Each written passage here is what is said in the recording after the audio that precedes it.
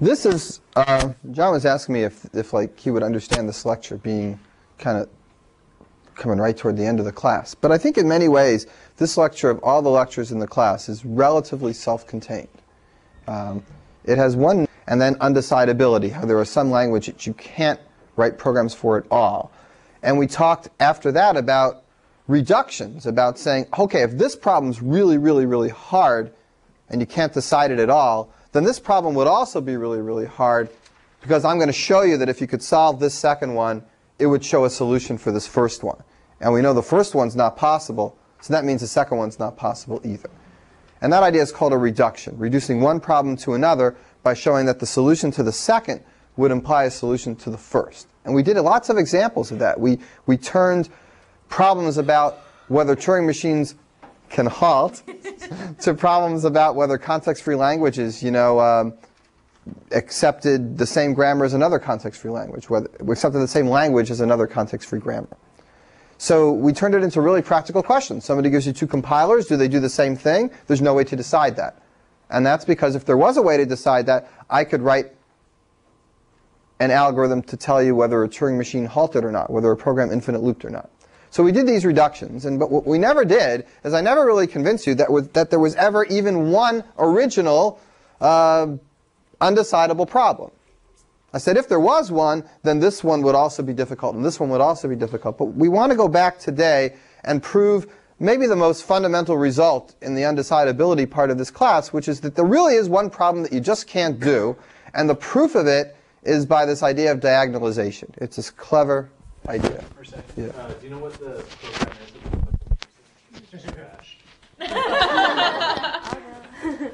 no. Oh, are you doing it? You know, you can just do it on the tape. Are you doing it on the computer at the same time? Uh, that's what I was trying to do. Don't don't try, because so Sophia was warning me that it might not work. So if you just do it on the tape, you're okay, and then and then she will render it later. Although I can't really see it. Uh, you have to stand up the whole time oh, I see. That, I see. But you have to look and. I really plan on looking.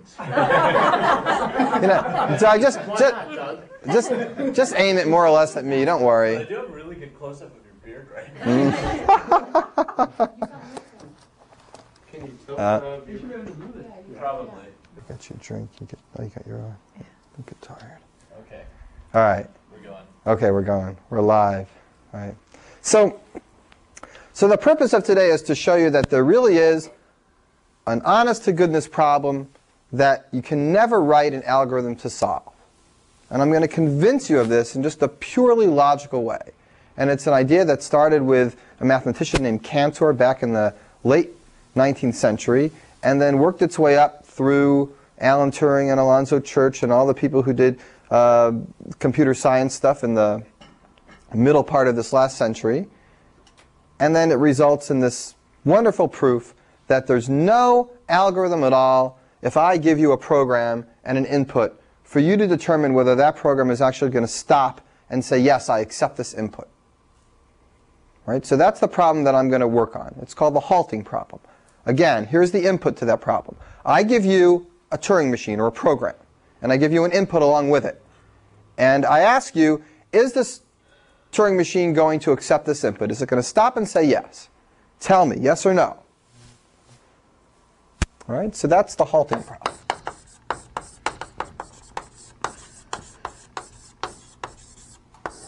The input is some Turing machine and a string that it's supposed to run on. And the output, yes or no, does M accept X? Does it stop and say yes? Now, if I asked you to go home and write an algorithm to do this, one obvious attempt would be to just take M, take the program, and run it. So you write a program that does nothing but read another program in, compile it, and execute it. You go, go borrow somebody's compiler and do it. You don't have to write the compiler yourself. Go ahead, take the machine in as input, take the input it's supposed to run on, and execute the program. And if it stops and says, I accept, then you say, yes, I know the answer. It stops and accepts. And if it doesn't stop and accept, then what do you do? Well, that's where you get in trouble with that method. That method's guaranteed to answer yes when, the, when it does accept x, but if the answer is no, if it doesn't accept x because it runs in some infinite loop, then your way of determining that will just be in an infinite loop. So maybe there's a more clever way to do it. Maybe you're supposed to really look at the program and start looking for funny for loops with weird initial conditions, you know, that might not ever end. And after you do that, you can look for other strange things that might make the thing go into an infinite loop. And you categorize these into the 3,892 weird things that might make a program go into an infinite loop. And you write a 10,000 line program and you send in your candidate machine into this program and you check it for all the possible infinite loops. And none of them are going to cause any trouble. And then you'd say, I know this machine accepts X. I don't even have to run it. I just checked it for no infinite loop. So I know sooner or later it's going to stop and, and say OK. That's a hypothetical. What we're going to do today is prove that there's no way to do that. There's no finite number of things that will let you check a program in general and make sure it will never go into an infinite loop. There's essentially an infinite number of ways a program can go into an infinite loop, and you don't have any way of being able to methodically check it in advance. Okay, and that's a very fundamental result. That means that there's a limit to what we can compute. There's a limit to what we can do.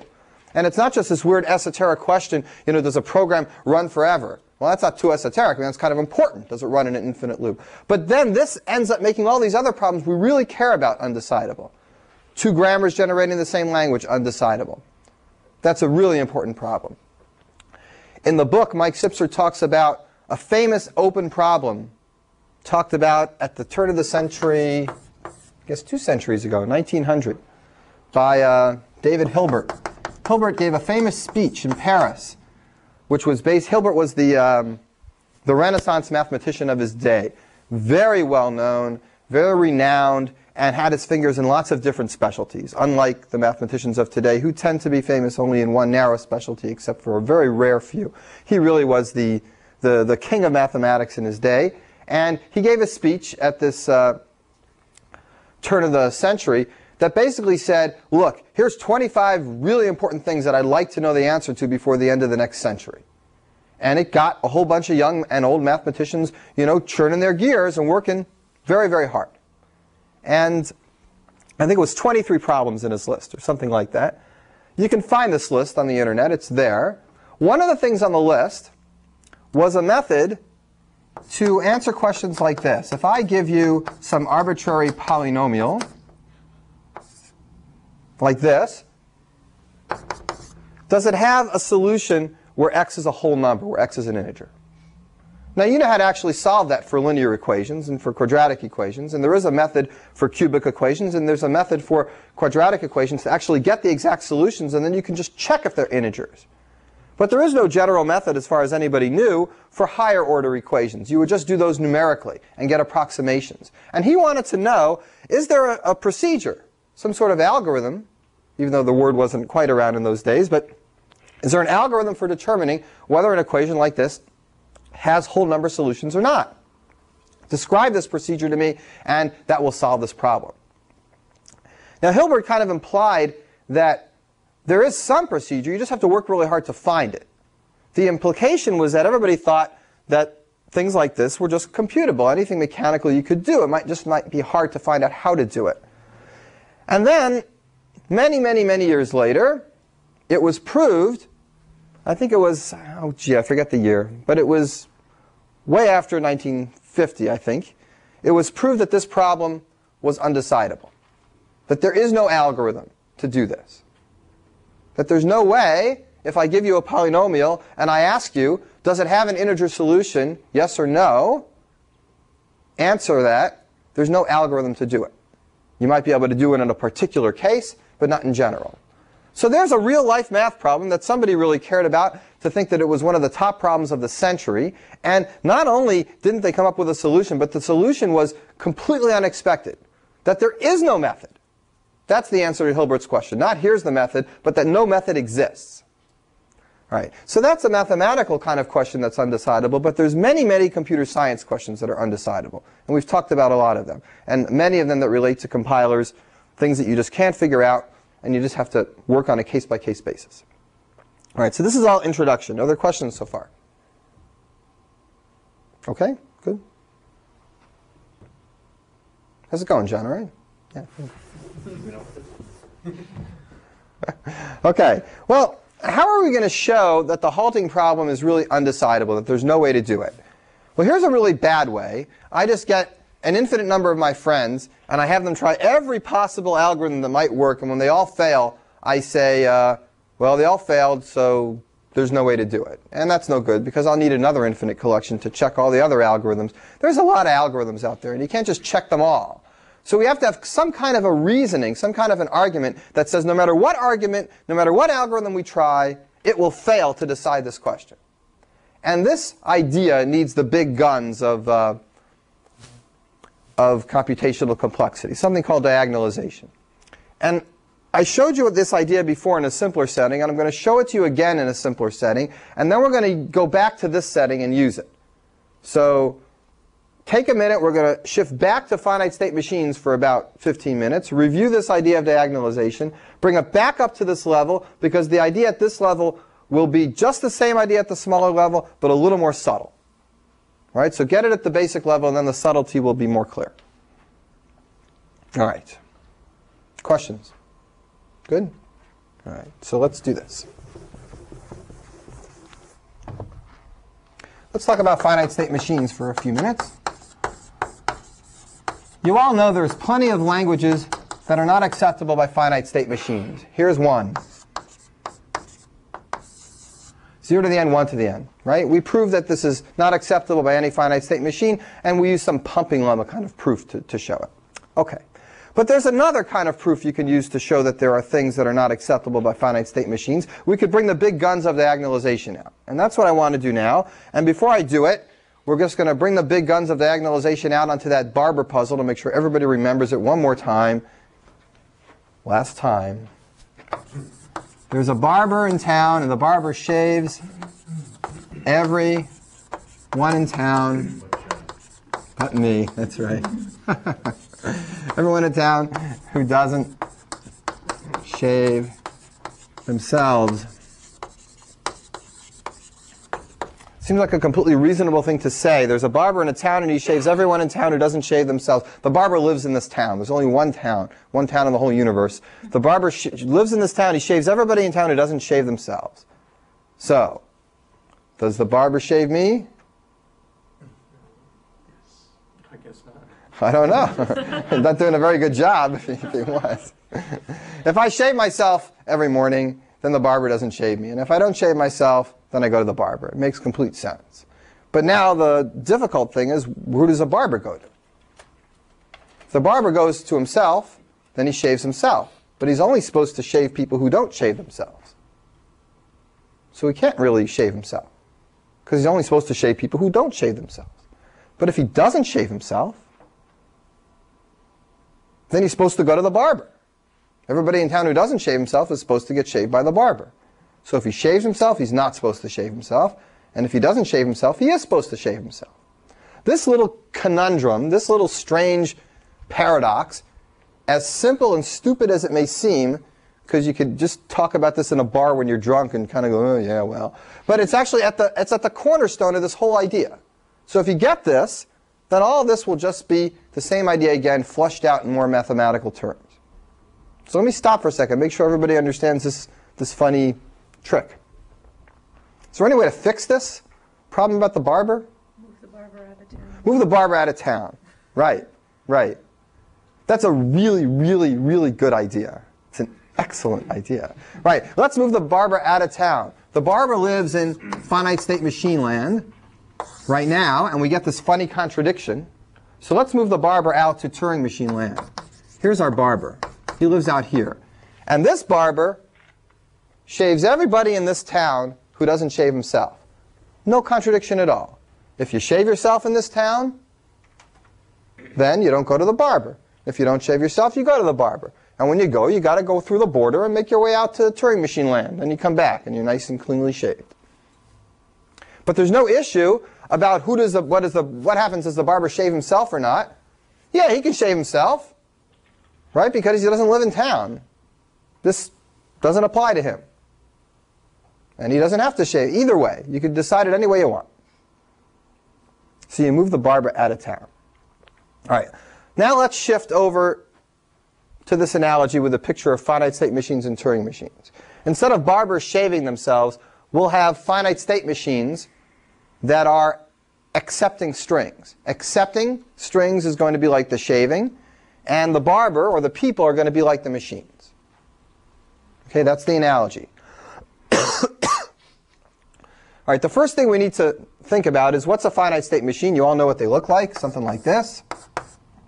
Done this before. 1, 1, 0, 0. So what's that one? That's a finite state machine that accepts all the binary strings with Odd number of zeros. odd number of zeros. Okay, now, before we talk about all these machines that live in here and whether you know something's going to um, accept them or not, we need a way of encoding these machines as binary strings so we can send them as input into other finite state machines that might decide something about them. So we talked about this once, and there was a way we used to encode this string. I think we used, we started with zeros and, and we counted how many states there were, right? So we had two states, that was two zeros. And then we made a little divider and we started with the initial state and we listed the state that it goes to on a zero, that was state number two. And then the state it goes to on a one, that was state number one. Right? And now we went over to the next state. The state it goes to on a zero is state one. The state it goes to on a 1 is state 2. And then over here, we put two ones to show that we're done. And now we're going to list the final states. And the final state is just a single double zero. So that funny little binary string represents this finite state machine. Now, you could represent this finite state machine in a million other ways. This is just one way. There's one method of turning finite state machines into binary strings. There's lots of other methods. Okay? And if you buy this fine, and if not, just let's just say this string represents this finite state machine, regardless of how we came up with it. But now the point is that this finite state machine can start churning on itself. So does this one happen to accept itself or not? Does this person in town shave himself? Does this finite state machine living in finite state machine land accept itself? It doesn't. Because this must have an even number of zeros. Okay? So this machine doesn't accept itself, but you could certainly imagine that plenty of other machines I'd write down on the board, when I converted them to their binary strings, they would accept themselves. So some machines in town accept themselves, and some machines in town do not accept themselves.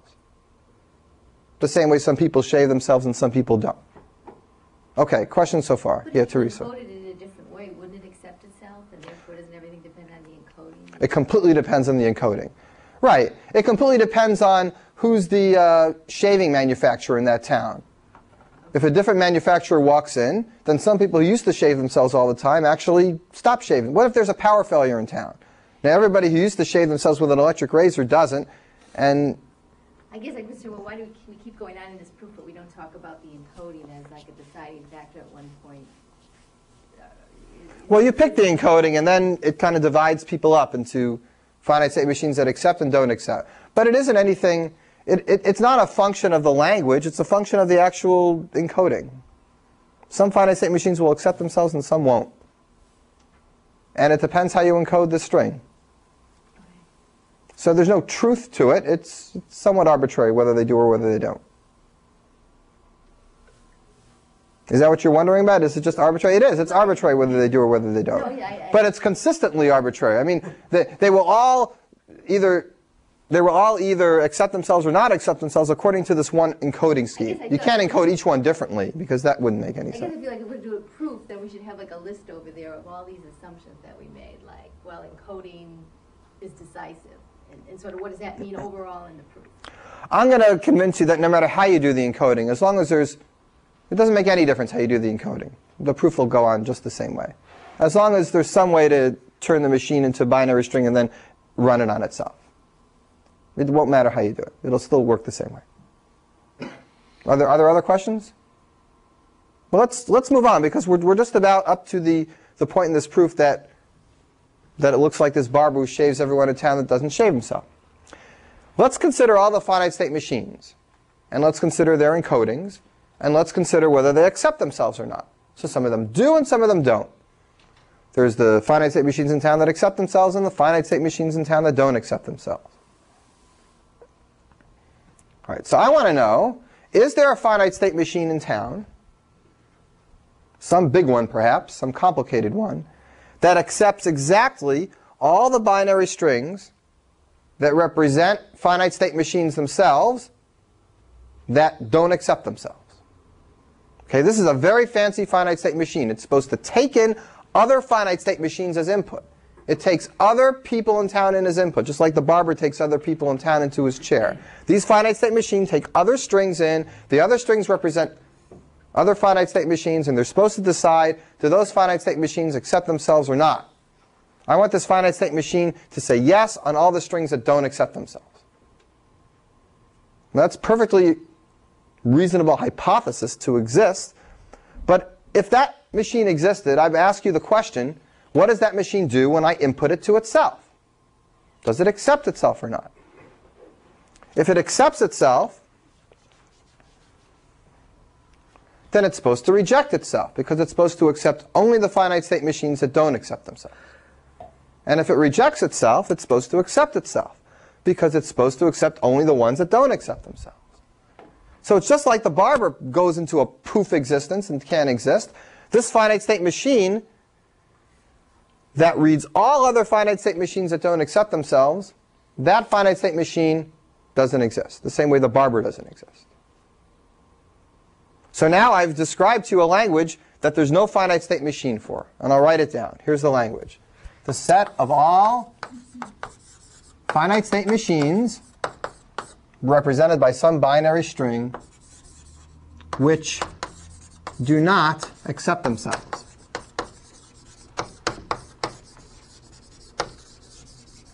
The set of all people in town who don't shave themselves.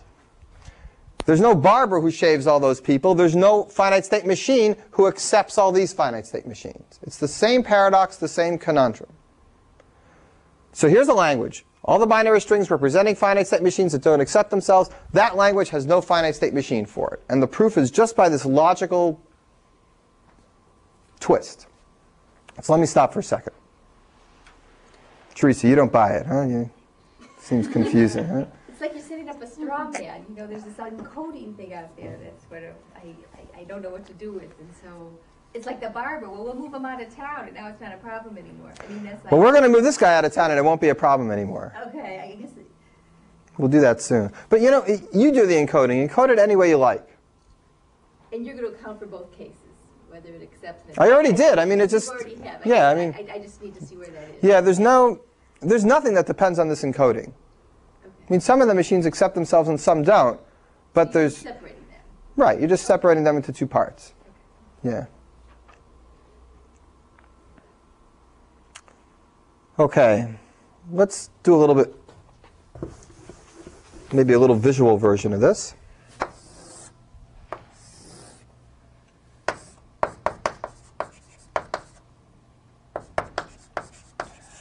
A visual way to think of this is to make a table. We just took a finite state machine before and encoded it into binary. So let's, let's use Teresa's method. I don't care what method she uses to encode finite state machines into binary. But whatever method she uses, every finite state machine has some binary encoding. And here's what I'm going to do. I'm going to take all the finite state machines in the world, we'll encode them into Teresa's binary, and then we'll look to see um, which ones have the smallest binary number, and we'll just order them, all in order, so that the machine that I will now call machine number one, or machine zero, will be the binary encoding of yours that's the smallest one. And the next one, the one we'll call one, will be the next smallest binary encoding. And this will be the next smallest binary encoding, and the next one, etc. Okay? So now I'm going to re-encode all these finite state machines to be nicely done in order. That's the smallest one, the second smallest, the third smallest, etc. And I list the strings up here too. And now for every finite state machine, I go ahead and I check whether it accepts all these inputs. Does this machine accept itself? Turns out it does. Does this machine accept the string number one? No. Does it accept the string zero one? No. Does it accept the, Looks like I wrote this twice. They accept the string 0, 0, no. Does it accept the string 0, 1? Yeah. Does it accept the string 1, 1? Okay. I'm making these up randomly. I don't know what this finite state machine looks like. It's Teresa's encoding. I don't even know what it is. And it doesn't matter to me. It's some finite state machine, and here's its accepting and rejecting uh, values. It accepts these strings, it rejects these strings. And it goes on forever, accepting and rejecting. And every one of these finite state machines has its own little set of acceptances and rejections. Right? You can just run through every single input and check. Right, lots of confused looking faces. How can I help?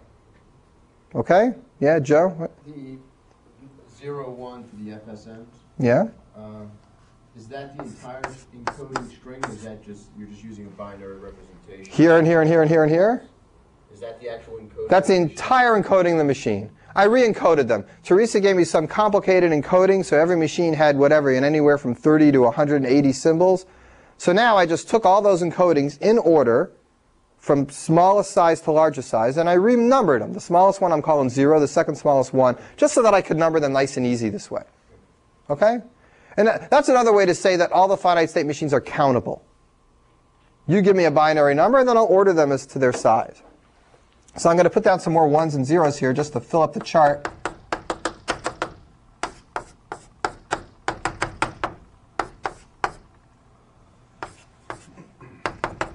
Okay, and this chart goes on forever.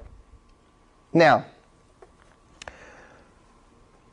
this language we talked about, the set of all finite state machines which do not accept themselves, you can figure out what this language looks like from this chart. Here's a finite state machine. Does it accept itself?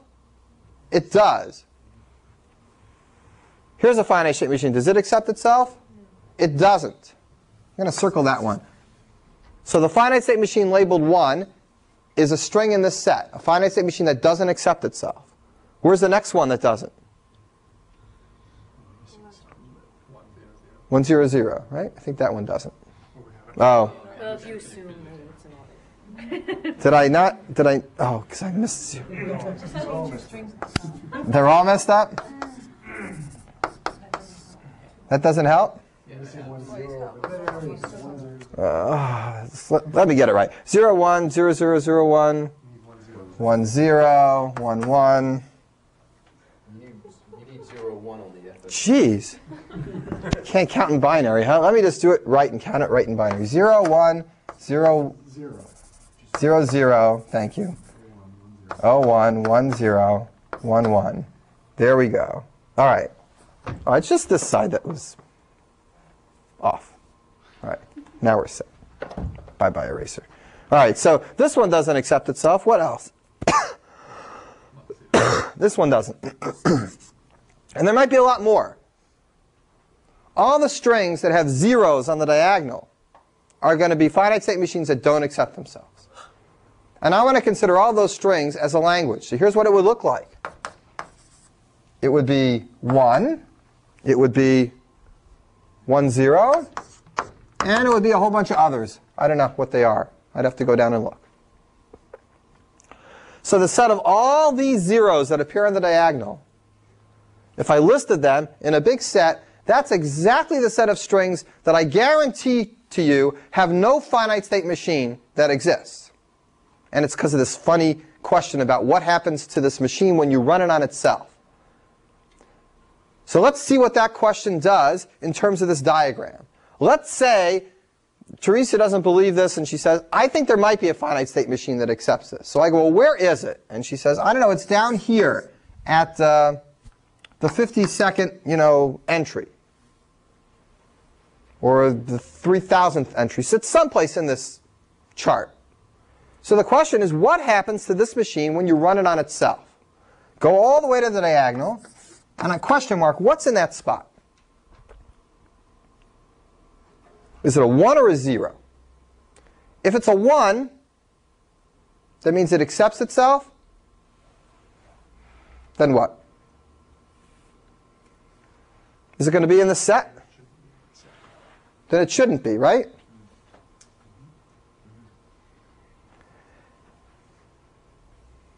But if it accepts itself,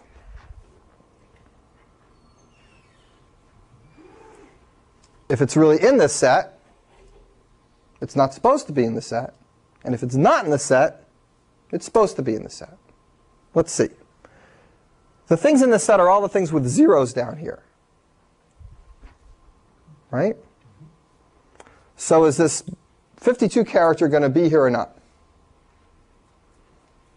I want you guys to think about this because I've said it, you know, a dozen times in and out, and I want somehow to figure a different way to say it that can help. All these strings are the ones whose diagonal values were zeros. Right? And this is a set of all of those. So what's the paradox about that? The paradox is that if this collection was actually somewhere in this row, if there was a finite state machine to do this collection, then there's going to be ones exactly underneath all these guys. There's going to be a 1 underneath the 1. There's going to be a 1 underneath the 1, 0. What's there going to be underneath the 52 here? If there was a 1 there, then there was supposed to be a 0, right? There's only 1s underneath the spots that were zeros. Only 1s underneath the spots that you didn't accept yourself. So if there was a 1 in this spot, it's supposed to be a 0. But if there was a 0 in this spot, you were supposed to include it in this list. In which case, you're supposed to put a 1 there. There's nothing you can put in this spot that makes sense. If you put a 1 in, it's supposed to be 0. If you put a 0, it's supposed to be 1. And it's the same thing as the barber who shaves everybody in town who doesn't shave himself. All right, Sharon, you're looking kind of quizzical. Oh, I just had a little flash. Is it making any sense? Yeah. All right, well, this, this idea is worth understanding at this level because the next level is very, very similar, but with a teeny little twist. And you really need to get it down here, I think, before you can see it at the next level. It's not too much harder at the next level. It's a teeny bit. So questions about this right now. Here's what we've done. We've proved that there's a set, namely the set of the finite state machines that don't accept themselves. That set has no finite state machine. That set does not exist in this list. You can't find it. It's a pretty wild way of coming up with a language that is doesn't have a finite state machine, but there it is. All right.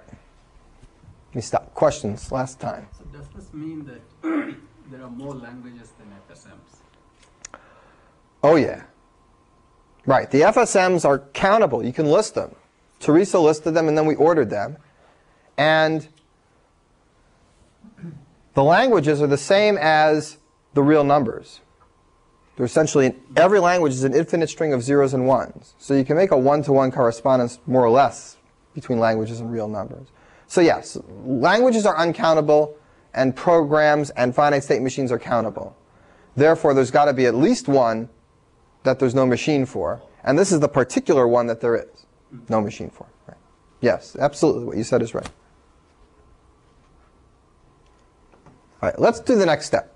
Let's take this barber and, like Donna said, throw him out of town. Bye bye. What does that correspond to in this analogy? The paradox here was that we assumed there was a finite state machine that accepted all the other finite state machines that don't accept themselves. And we got a paradox. That was troublesome. There is no such finite state machine. We get a uh, contradiction. But maybe there's somebody smarter outside of town that can do it. Maybe there's a Turing machine that can do it. Not even maybe. Go home and write one. Go home and write a program that will accept exactly the finite state machines that don't accept themselves. You should be able to do that. Go home and write a program. I'll give you the finite state machine. I'll give you the input, namely itself.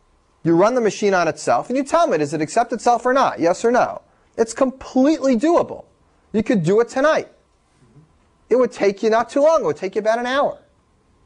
Even if you forgot how to use Scheme, it would take you an hour. You could write a Turing machine to solve this problem. That doesn't cause any contradiction. The reason it doesn't is the same reason as when you move the barber out of town, there's no contradiction. Because you don't expect the barber to either shave himself or not shave himself. He's not in the criterion anymore. There can be a Turing machine that decides all these questions, and the question of what happens in the di diagonal is not a contradiction because we don't care whether that Turing machine accepts itself or not. That Turing machine is not under consideration here. We're just saying that Turing machine is smart enough to know the answer for all the finite state machines. He might not know the answer for himself. He's not a finite state machine. He doesn't get included in the criteria. Right? So if he's included there, fine. If he's not, fine. Either way, it's okay. So if you move that guy out of town, there's no problem. And in fact, you can do it. And there is a way to decide all these things. There's no finite state machine that decides it, but there's certainly a Turing machine or a program that decides it. So this is not hard to decide, just that a finite state machine is too stupid to do it. It's too self-referential. All right, questions about that? Well, there are things that Turing machines can't do, and what's going to cause us trouble is we sent the Turing machine out of town, the barber went out of town, became a Turing machine. So now what we're going to do is open up the gates here, you know?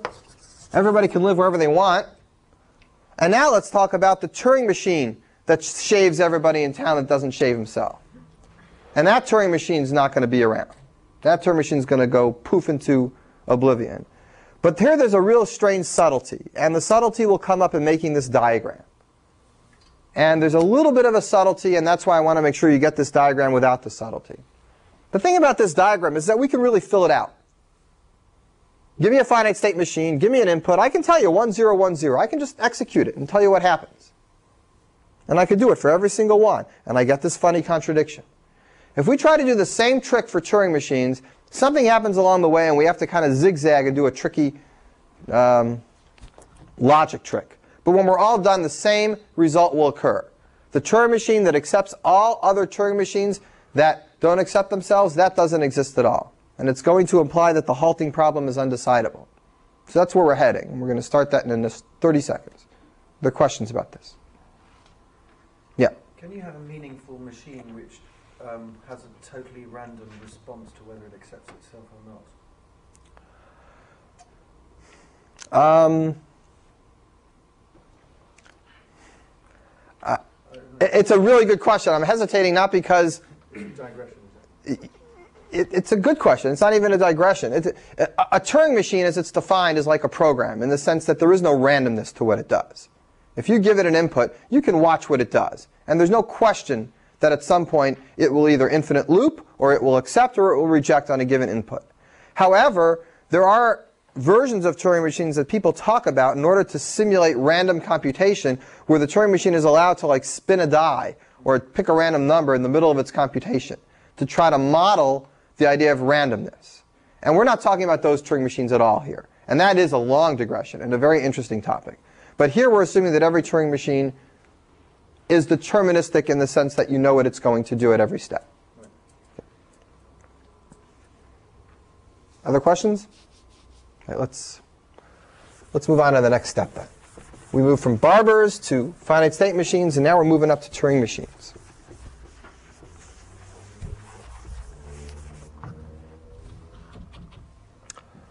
Okay, so here's what I'm going to do.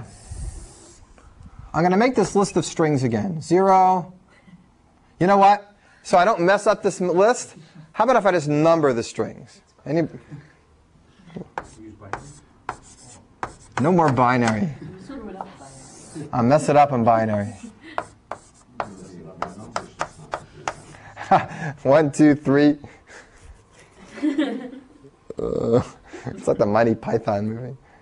You shall count to three, you shall not count to four, you shall count to three. You shall count to two only on the way to three, and one, two, four. Three, sir. All right, these are Turing machines. These are inputs. Same trick as before. Turing machines, as you know, you know, are funny, these pictures with these arrows. There's a way to encode them in binary, just like there's a way to encode finite state machines in binary. Pick any way you like, and whichever way you like, give me the one that's the smallest, and I will call that Turing machine 0. Give me the one that's the next smallest in binary, I'll call that Turing machine 1. So these are the ordered Turing machines according to whatever encoding you like, from smallest to largest. And these are the identical strings as inputs. And these Turing machines, you could run them on every single input to see whether they accept the inputs, reject them, or, uh, or run forever, I guess. That's the thing about Turing machines. They don't just say yes or no. They might not say anything. They might just work and work and work. So if we try to do this trick with Turing machines, we have this immediate problem that we can't fill this table in necessarily. If I run it on itself, what if it just runs and runs? I don't even know whether to put a 0 or 1 in there. So you, you might think, oh, well, great, you know, I can't even make this table, so maybe I won't have this contradiction. Well, that's fine, but nobody's satisfied with that. So here's the subtlety to get around it. We're going to assume, and it's not a reasonable assumption, but we're going to prove that it's not a reasonable assumption as we go. We're going to assume, perhaps unreasonably, that there is a way for us to put in zeros and ones here. And how are we going to assume that? By assuming that there's some program somewhere where if I give it a Turing machine and I give it an input, it tells me whether that Turing machine accepts that input. I've got a magic halting machine tester. So here's my magic, magic halting algorithm. I'm assuming it exists. It doesn't really. Okay, but I'm assuming it exists, and in continuing here, I'm going to get a contradiction which will imply that this assumption is completely erroneous. But I can't prove that it's erroneous until I actually make the assumption and get you some weird contradiction. The weird contradiction is going to be the barber. And then I'm going to back up, and the only assumption I will have made that's, that's questionable will be this one, that this exists. So let me tell you what this is that exists. The magic halting algorithm. I give it a Turing machine and a string. I give it a Turing machine and a string. It tells me, it outputs does M accept X. It tells me yes or no. Does M accept X? If it tells me yes, I know the answer is yes. It accepts X. If it tells me no, I know that either it rejects it or it infinite loops. I don't care which one. I know it doesn't accept it. It's going to tell me yes or no if I give it an M and an X. And if I got something like this, then I can fill in this table. Keep in mind that we did have something like this for finite state machines. There, it's not magic. There is a halting algorithm for finite state machines. You can write it yourself. Put in a finite state machine M. Does M accept a string X? Yeah, go check. It's just that we don't have that necessarily for programs. Nobody knows how to do it. So let's assume we do have it. I'm going to show you we got a weird contradiction. So let's fill this table in. It's got zeros and ones just like before.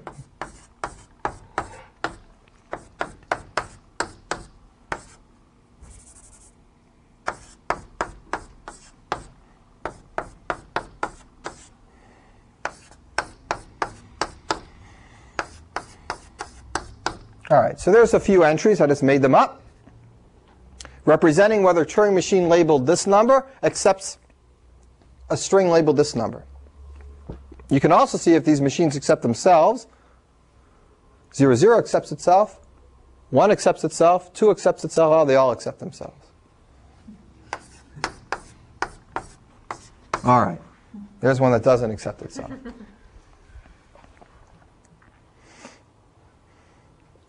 Well, fine. Now I can fill this table in. And just like before, just like before, I am now going to come up with a, uh, with a set that can't possibly exist. And what is that set? I know I've made an assumption in order to do this. We'll go back and fix that assumption in a minute. But what's the set that can exist assuming I have this diagram? The set of all things with zeros in the diagonal, or the set of all Turing machines that do not accept themselves. That means either they reject themselves or they infinite loop. That's a set that doesn't exist. Just like it didn't in the other two cases, just like the barber didn't exist. Yeah, Joe. How do you know that the input zero, right, string length zero, is the same string that's generated by the Turing machine zero when you encode it? Right, that's how you know it doesn't accept itself because that string zero has to be the encoding of the Turing machine zero so that they match up and give you either a one or a zero in that diagonalization. Is that right? Um, I'm not sure what you mean exactly. These, these numbers represent Turing machines. Right. So this is some Turing machine. I don't know what it is. Maybe it's the one that accepts 0 to the n, 1 to the n, 0 to the n. Okay. And this is the string 0. So if this Turing machine really is the one that accepts 0 to the n, 1 to the n, 0 to the n, then there would be a 0 here. It doesn't accept 0. Right. And it doesn't accept 1. And it doesn't accept 1, 0. It wouldn't be up until like 1, 0, 1 until you'd actually get an acceptance there. Does that? Okay, that's, okay. that how- Assuming that's correct then, zero, you would have it. How do you know that it doesn't accept itself though, if it's from the input string? Because you're looking at the diagonalization. How do I know what doesn't accept You're itself? saying a Turing machine doesn't accept itself. Some of them do, some of them don't. Right. Right.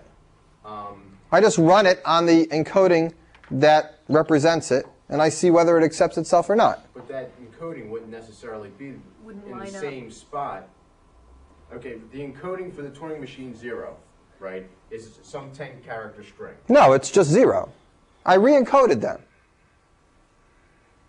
Teresa made her own encoding, and I relabeled them all. So now they have a new encoding in, in order, so I could just list them in order and not miss any. So, so let's say originally this was encoded with a number that was 36. Maybe these were the original encodings 36, 42, 53, 98.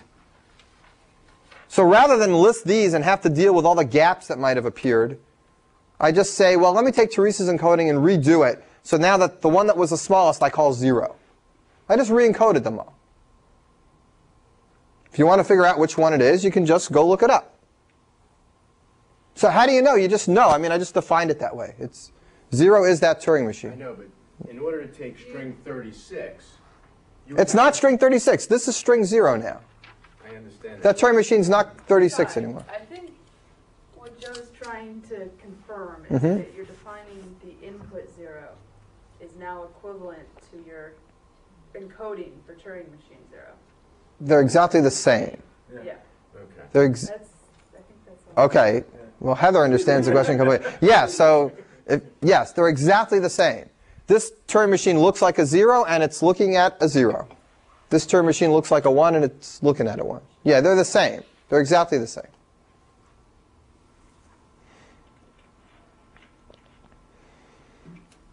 Okay. So we go through this procedure. We got this whole stuff written out. And just like before, we have this strange set that can't exist, and I'll write it out. Here's the set that can't possibly exist. Ironclad logic can't possibly exist, assuming I can make this table. It's the set of all Turing machines that do not accept themselves. You cannot find this language in this list. It doesn't exist anywhere. If it did exist, it would contradict the diagonal entry. So it doesn't exist. Time, time to move out of town. No, no, we're staying in town this time. Right, there's no more towns to go to. That's the thing. That when you're at the Turing machine level, you can't go out of town. If you go out of town, you know, you, you hit the border, go back in town. It's like the Twilight Zone. You know, you leave the, you, you look around, you're still in the same town. You go out of the town, you're still there. I mean, that's. Can't someone discover a new town eventually? Mm. I guess there, there is this idea of an oracle. Hmm. Right. Well, here's the thing. You see this machine that can't possibly exist? You all agree it can't possibly exist? All right. Assuming that we could make this chart. Remember we assumed that this existed? This funny assumption? I'm going to convince you now that, I mean, we haven't gotten any contradiction. So what if this doesn't exist? You all agree this doesn't exist. Fine. How does that relate to my assumption that I made? I'm going to show you that the fact that this doesn't exist is in direct contradiction to this assumption. And that means this assumption is bogus. This assumption means I can give you guys an m and an x. You can go home to your halting algorithm and tell me whether m accepts x. You'll answer yes or no to this question. You did. You let me do this, right? If you can do this, I can tell you to go into your program and every place it says yes, change that to a no. And every place it says print no, change that to a yes. Okay? You can all do that. You go home and do it, change the algorithm. This is the recursive algorithm. This is a legitimate algorithm that says yes or no on every one of these inputs. I say switch your answers around. Do the complement trick. Make your yeses no's and your no's yeses. Then what set does your new machine that I told you to switch around, what does it accept? It says yes to all the Turing machines that, that don't accept themselves. So the existence of this assumption implies that there really is a Turing machine that says yes to all the Turing machines that don't accept themselves. It's just the toggle of your Turing machine. But we just convinced ourselves that that Turing machine that accepts all the others that don't accept themselves, that doesn't exist. But it would exist if we had this thing around. So it's a contradiction, this assumption. This assumption contradicts the fact that this doesn't exist. So I'm going to write this down a little more carefully. This doesn't exist. That's by the Barber argument. And the fact that that doesn't exist, this assumption implies, let's call this, uh, I'll give this a name. I'll call it weird set. The weird set doesn't exist, and this algorithm implies that the weird set does exist. Why does it imply that the weird set does exist? Because just take whatever algorithm you use here and switch the yeses for nos.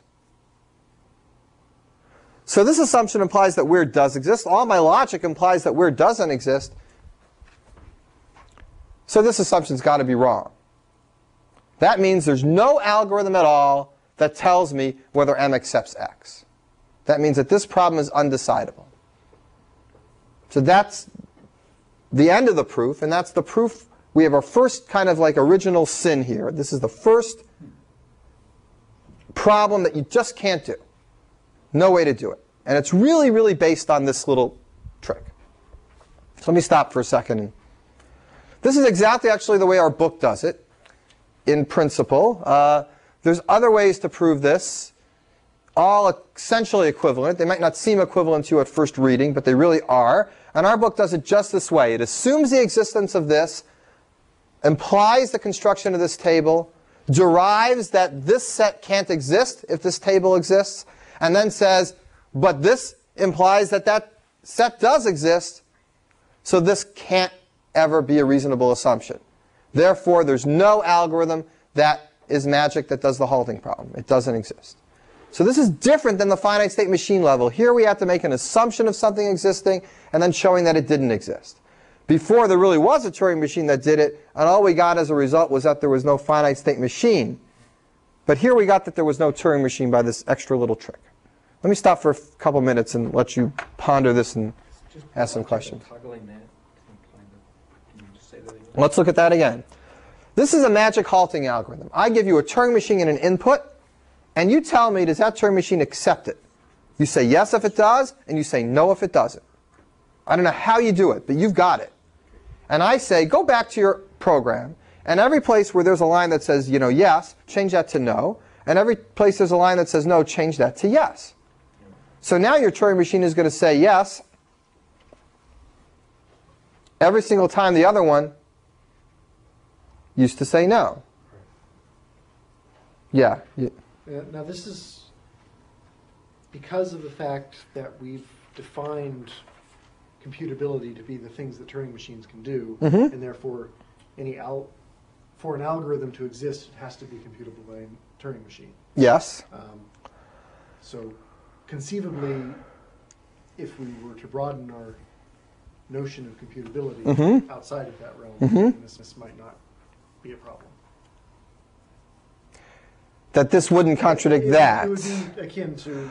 Uh, moving out of town again. Right, right, right, right. So Neil asked before, can you move out of town again? And Chris is asking this in a more uh, uh, rigorous way. Can you go ahead and broaden our sense of computation to go beyond a Turing machine? Sure, a Turing machine seems to model computation, but it doesn't seem to model the way I decided who I was going to marry, for example. I don't think anybody was going to write a Turing machine to do that and consistently print yes or no to successful marriages. There seems to be some quantum emotional biological response, and everybody manages to pick the right mate. No. the point is, it is possible that there are levels of computation above Turing machines. There can be quantum computers, perhaps. There could certainly be computers that work on some randomness or some kind of uh, level that's beyond the deterministic, step-by-step mechanistic level that we assume Turing machines are. And if that was the case, then it is possible that one of those computers could really answer this question and then wouldn't have an issue with contradicting itself because it wouldn't be in the in the group under consideration. That's possible. Yeah. Which of course just expands the problem. It just expands the problem to the next level, right? Yeah, I guess that's my next question. Is there any hope ever? No, there's no hope. No, there's no hope. No, we fundamentally cannot compute things, period. You come up with your model of computation, and there will be questions about that model that that model is not powerful enough to compute. It's always the case. That's what diagonalization says. It says that these machines are not smart enough to be completely self-aware. And that's just the way it is. And any machine that we could construct that is completely aware about the Wouldn't be aware about its own members completely. Right. Right. And I think we're just computers and we count too. We're also not completely self-aware. It goes the same way. But not everybody thinks so. Or do I? uh, Why doesn't it work at one lo- layer down on the FSMs, this magic algorithm? Why can't you do that? You can do this. This magic halting algorithm exists. I mean, there is a Turing machine that will say yes or no whether a finite state machine accepts himself. There really is. But that Turing machine is outside of the realm of finite state machines, so it doesn't have to accept itself or not accept itself according to that Barber criterion. But there is no finite state machine that can do that for finite state machines, and that is exactly the same reasoning. In fact, the only reason we got past this subtlety with finite state machines is because I told you we created this table using a Turing machine for finite state machines.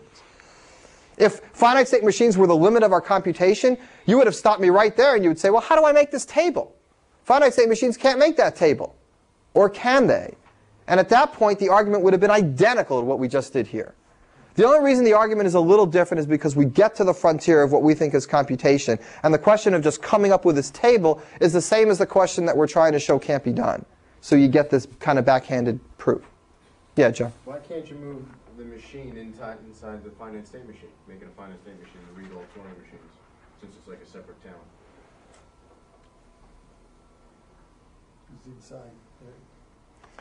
You mean the Turing machine that accepts finite state machines that don't accept themselves? Why don't I move it inside the town? The Turing machine that accepts all Turing machines that don't accept themselves. Well, there isn't any Turing machine that I know, does it. but Right. I mean, if you Yeah. it to the finite state machine level. But all finite state machines finite- are also all Turing Turing machines. Okay.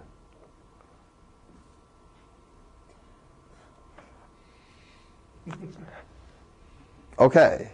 I'm not sure I understand the question or the answer, but I know there was communication. it's like, it's my happiest moment as a teacher when, when two people seem to communicate, understand the material better than before, and I have no idea why.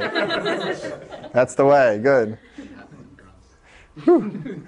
All right. Um, more questions about this? Okay. Does this correspond to the any mathematical axiomatic theory, there will be questions which you can't answer? It's very similar. It's not exactly the same proof, and the proof for that is different, but, but the notion behind it is similar, and it's for the same reason. Yes, it's very similar. Um, Which proof came first? the one that Sham just said, Gödel's yes, that came first, I'm pretty sure. Yes. That, that every mathematical system that's powerful enough to describe the rules of arithmetic has statements that are true, which cannot be proved one way or another within the system. That is, look, if, you, if this is a little confusing, I think that's more confusing. I really think that that's harder to, to get. Uh, I don't know. I think it's harder. Th- th- This is, maybe I just thought about this more. All right. Uh, there's a lot we did today, but there's also a lot we didn't do. Uh, let me give you a little heads up on where we're going. We, we've been going for a while. I'm not going to do anything more complicated. I'm just going to tell you what we're going to do next time. We finally proved that we have a legitimate problem that's undecidable. If I give you a machine and a string, and I say, does that machine accept that string? No way to do it. No way. That problem is not recursive. It's not decidable. Its complement, you know, the set of things that you don't accept themselves, that's not even recursively enumerable. That's this thing. So this is not even recursively enumerable. And its complement, the set that do accept itself, that's undecidable, but it is recursively enumerable. The set of things that do accept, the machine accepts the string, you can just simulate it. And if it accepts it, sooner or later you'll get the answer yes. So you can get the answer yes when the answer is yes. You just won't get the answer no when the answer is no. But this one, where you switch the thing around to its complement, this one you can't even say yes to. This one is not recursively enumerable. So we've got an example of our first set that's undecidable. What we want to do from here is kind of move it to problems that are a little more practical. Take this thing, which is undecidable, and reduce it to other problems. So we're going to do a few reductions of that sort. And the reduction that we'd really love to do, but it's just too tedious, and I'm not going to do it, it's to show that this halting Turing machine problem reduces to PCP.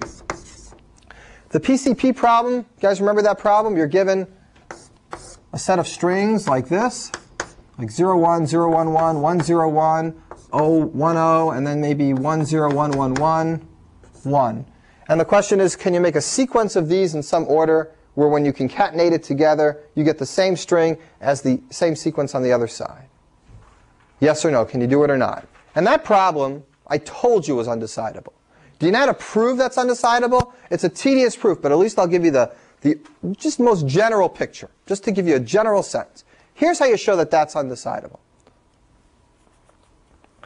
You show that if somebody could solve this problem in general, if somebody could take a long list of binary strings and tell you whether you could put them together in such a way so that the left side was the same as the right side, if somebody could do that, let's say you guys can do it. You know a way. It's a secret ADU PCP algorithm. It sits in the back of the room. If you knew a way, then I could figure out how to solve the halting problem. Well, how would I do that? Well, presumably, the halting problem gives me an M and an X, a machine and an input string. Somehow I would take that machine and the input string and construct a long list of zeros and ones strings and hand them to you. And I'd say, go run this on the PCP machine. And you'd run it, you'd tell me yes or no, and presumably I would construct it in such a careful way so that if you told me yes, this machine would accept X. And if you told me no, this machine would not accept X. I would connect the machine and X to a list of strings so that the solution of those strings on the PCP was the same exact answer to the solution to whether m accepted x. Now, how do you do that? It's such a mess. You have to take the machine, you have to take the input, and you've got to decide exactly on what those strings should be. Now, intuitively, do you know what those strings end up being? They end up being pieces of a configuration of a computation of the machine on this string. Remember what a configuration is? It's a picture of the machine. And then if you go to the next step, you get another configuration, another picture of the machine. If there's a way to connect those together, each string might represent a possible configuration. They can connect together if one can get to the other. If you can connect those together so that this side equals this side, then there turns out to be a way to get to an accepting state on this string using this machine. And if there's no way to do it, then there's no way. You really carefully make those strings to correspond to the machine and the string. Now the how and the details is a little gruesome. And it's described in very detail in the book. I mean, he really goes through it, gives you the big picture and the details. But I don't know, I just don't think it's really worth doing as a regular lecture. It's just tedious, and I don't think you'll get it sitting through it in a lecture. If you stared at it for five or six hours and then I went through it, you'd probably get it, but then you'd probably get it even if I wouldn't go through it. So I'm not sure how much going through this in a lecture really helps the details. So, so I'm not sure I want to do it. But, but maybe I'll do a little piece of it or something. There is this little stage.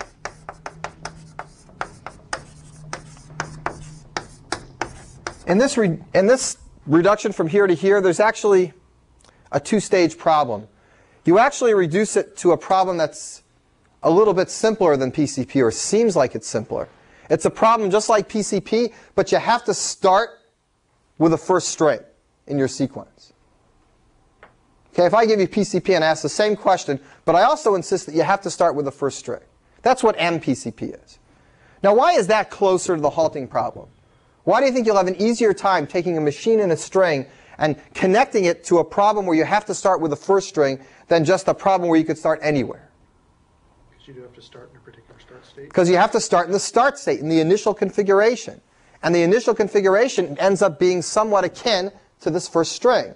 So I would love to be able to deal with my target being something where I have to start with the first string. So in order to do that, you're working with a different problem. And maybe that problem is hard, you know, but, but it seems like it might be easier than the general PCP. So I can show you tomorrow, and it's kind of an easy proof, that if you can solve that problem where you start with the first string all the time, then you could solve the general problem too. That it's actually no easier. It's just as hard as the general problem. And that gives the author the ability to narrow his target to something more uh, attainable. And that's really what, what the author does. So we can show this reduction. We can show the reductions from PCP to all the grammar questions. And we're also going to show reductions from this halting problem to all these other interesting things you'd like to know about Turing machines. Anything you want to know about Turing machine, forget it. Here's a Turing machine. Does it accept a regular language? In other words, is the language it accepts the same as some finite state machine? Yes or no? No way to decide. Here's a Turing machine. Does it accept absolutely nothing? Is its language empty? No way to decide. Does it accept everything? No way to decide. All those questions that are undecidable are reductions directly from the halting problem. If you could solve any of them, you could determine whether a machine halts on a given input. And I'm going to explain that connection. That connection is not obvious, and your brains are too uh, full for one day to do it. But that's what we'll do yesterday. We'll talk about reduction. yesterday? I'm losing it. Well, that's what we'll do tomorrow. We'll talk about reductions from the halting problem and from MPCP to PCP. When we're done with reductions, we're shifting over to computational complexity, talking about P, NP, P space, and hierarchies of how long it takes to really do things that you can do. No more stuff about things you can't do after that. All right, let's quit.